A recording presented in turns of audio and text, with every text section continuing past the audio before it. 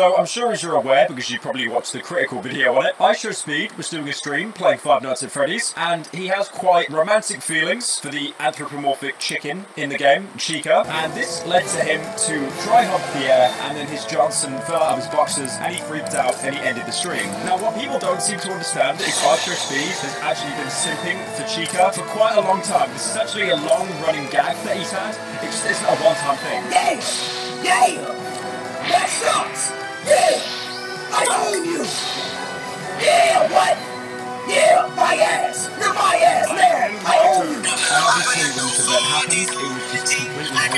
It was instantly. I was scrolling on my TikTok page and I could not stop seeing iShowSpeed memes. There was even one where they, uh, okay, I, I know I do a lot of Breaking Bad colorways, I get it, right? But there was one video and it was a deep fake of Soldier with the AI and it was